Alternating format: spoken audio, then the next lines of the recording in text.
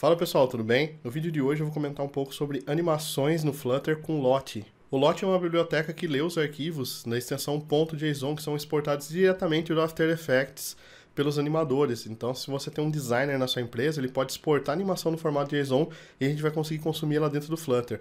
O Lot é legal porque ele serve para Flutter, para web, Android nativo, iOS e várias outras linguagens. Então é um cara que é cross-platform. As mesmas animações que a gente pode usar no mobile, nativo, a gente consegue usar na web. Eu sou o André Baltieri, 7 vezes Microsoft MVP. E se você está conhecendo esse canal por esse vídeo, não esquece de se inscrever, curtir, compartilhar e marcar o sininho para receber os próximos vídeos. Bora lá então ver como isso fica no código?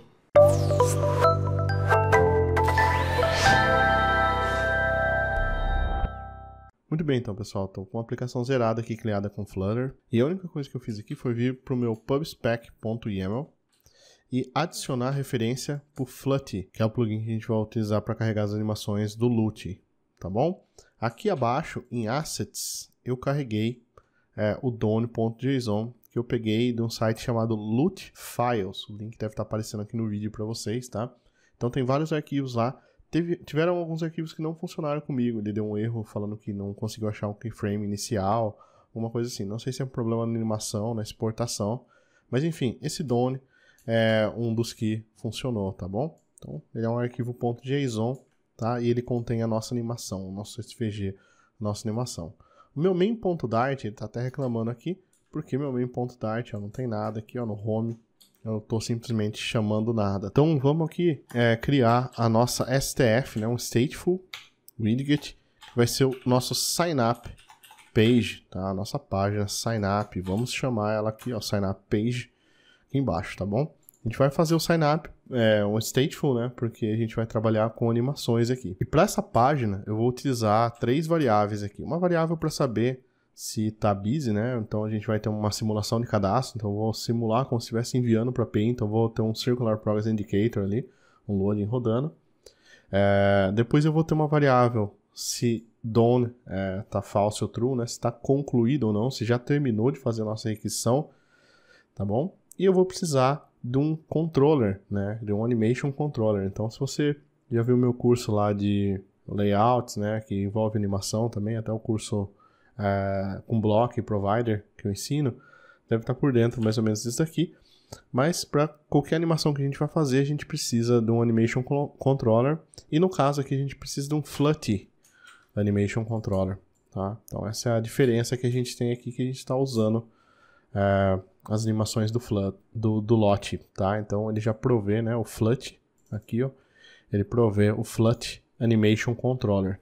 Movendo adiante, eu vou ter um método chamado de initState, né, que é o, o estado inicial da nossa aplicação, a gente sempre passa por esse método, super.initState, e eu vou chamar uma função onde a gente vai preparar nossa, nossa animação. Já vou comentar melhor ela com vocês. E sempre que a gente trabalha com animação, a gente nunca pode esquecer de no dispose aqui, né, chamar o animation controller ponto .dispose, tá? É, para não deixar nada de memory leak, nada na memória para trás, tá, da nossa animação. Então essa parte talvez mais importante aqui, vai dar um estouro de memória. Nosso método prepare animation, ele vai ser assíncrono, tá bom? Porque a gente vai precisar usar um await dentro dele aqui, já vou explicar. Então a primeira coisa que a gente precisa é de uma instância do Flute aqui. Depois eu vou criar uma animação, que no nosso caso aqui o Done, ele é aquela aquela animaçãozinha do V, né, do check, tá? Então eu chamei de check animation. Ela vai ser igual a wait, então tem que aguardar instance, tá? Que é a minha instância do Flute, ponto load animation from asset. Então estou mandando carregar a minha animação e tudo que a gente faz de input e output, né, a gente tem que ter o await, porque ele sempre retorna uma promessa. Então, ó, assets barra done.json. Então, assets barra done.json aqui, como a gente já tinha uh, carregado previamente nos assets, tá bom? Depois, meu animation controller vai ser igual instance, que já está pronto aqui, ponto prepare animation, e aí eu vou preparar minha animação. Minha animação ela vai ser o check animation, a duração dela vai ser de 2 segundos, isso daqui você tem que casar com a animação aqui, então no, na hora que você abrir o seu, seu arquivo LUT é, lá no Loot Files, ou seu designer passar para você a animação, essa animação vai ter uma duração, tá? Então tem que casar a duração aqui. É, senão ela vai ficar estranha. Então, se você colocar aqui animação 10 segundos, ele vai ficar uma animação bem lenta, tá? Então depende é, do seu arquivo. Então, no caso, o que eu encontrei aqui foi 2 segundos, é, que foi um tempo bacana aqui. Repeat count é quantas vezes que você quer que essa animação se repita. Então, no nosso caso, eu não quero que repita nenhuma vez.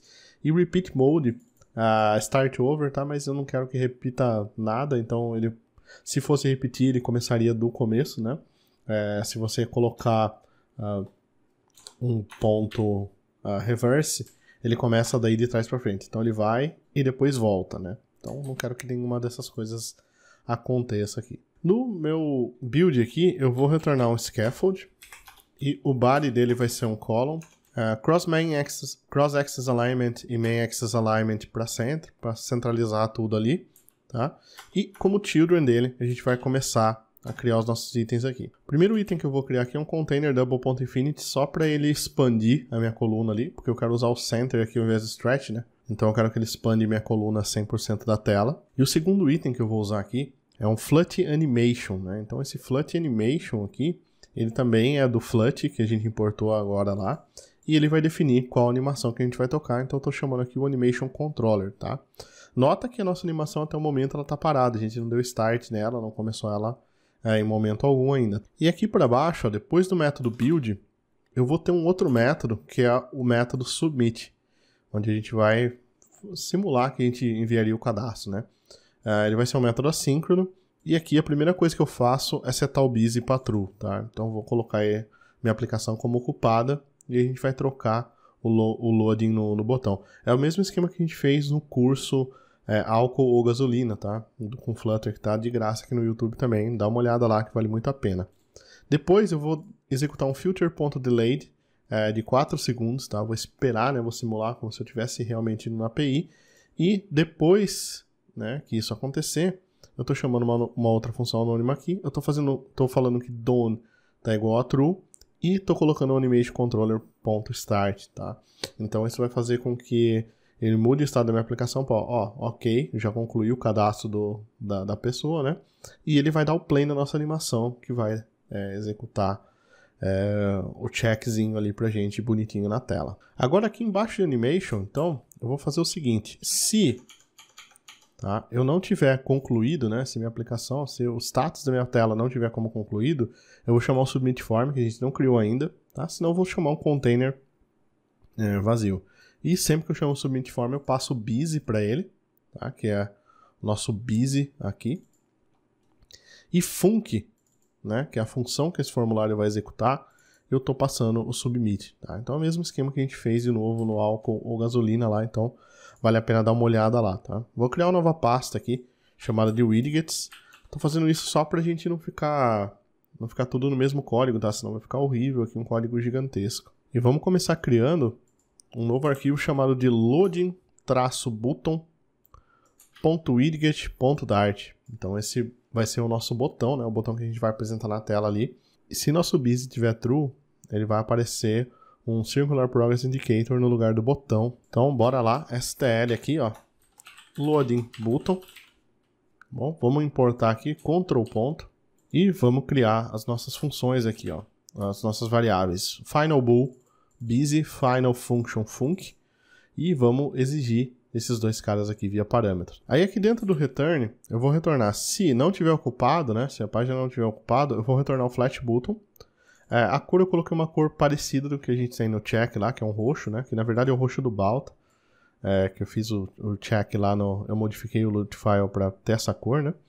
É, o text cadastrar, cor branca, tá? E ao pressionar eu vou chamar a função que a gente recebeu como parâmetro aqui. Se é, ele não tiver se ele tiver ocupado, né? Aí a gente vai chamar aqui o Circular Progress Indicator, tá? Podia até inverter essa ordem para ficar mais fácil de, de, de ler o código. Mas tudo bem. Vamos aqui então nos widgets novamente, novo arquivo, e vou criar o meu form.widget.dart, tá? Então, stl.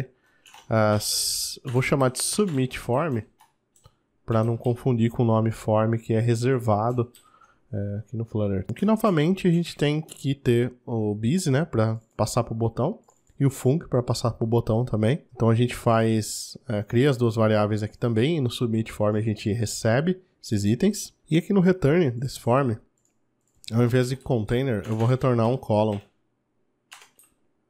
Tá? E o children desse column, é, eu vou ter um padding com edging set aos de 20 pixels, tá? É, eu não estou me prendendo muito a layout, tá, gente? Então, é, o foco aqui não é nem layout, é animação lá. Depois eu vou ter um text form field, que, o keyboard input type text, tá? Input decoration, é, label text usuário, né? Text style, fonte 16, tá? Abaixo do meu padding aqui, eu vou ter outro padding, é, com os mesmos estilos, tudo certinho, só que o nome dele vai ser senha e obscure text true, né? Para ele aparecer uh, como input do tipo password. E abaixo do meu padding aqui, como último item, a gente vai ter um loading button, né? Vou importar ele aqui, ó. Loading button, passando o busy e o func para cá, tá? Então se a gente voltar para o main.dart agora, vamos importar o form widget aqui, salvar, tá? Aparentemente está tudo certo aqui. E vamos rodar a nossa aplicação agora para ver como ficou. Então, ó, tá aqui a nossa tela. Vou digitar um usuário, vou digitar uma senha aqui, isso não tá valendo nada, né? Vou clicar em cadastrar ele vai aparecer aqui, ó, carregando, vai dar 4 segundos e vai aparecer a nossa animação com loot, né? Então, muito bacana essas animações com loot aqui, a gente pode fazer. Então, tudo usando uh, o, LUT, o Flut, né? Que é o pacote que a gente usou, e usando o Flut Anim Controller. É, então, vocês viram que não é algo de outro mundo é, criar animação e colocar animação na tela aqui, tá? É algo bem fácil. Vou até dar um reset aqui, é, restart na aplicação para mostrar novamente aqui o cadastrar rodando. E para a gente também é interessante porque os arquivos, né, os loot files, que a gente utiliza no Flutter, a gente consegue é, usar na web também, tá? Então existe o, o lot é, for web, que é um JavaScript também que a gente consegue usar os arquivos, beleza? Então é isso aí, pessoal. Espero que vocês tenham gostado. É, rodem no telefone isso daqui. É muito importante que vocês vejam essa animação quão fluida ela fica ah, no device de vocês. Aqui no vídeo o FPS vai ficar baixo, vai baixar para 30 FPS, é, ainda vai converter o vídeo, vai perder qualidade, um monte de coisa. Testa no device de vocês, né? No emulador também não fica bom. Testa realmente no dispositivo, no telefone, para você ver que lindo que fica. Beleza? Um abraço e até o próximo.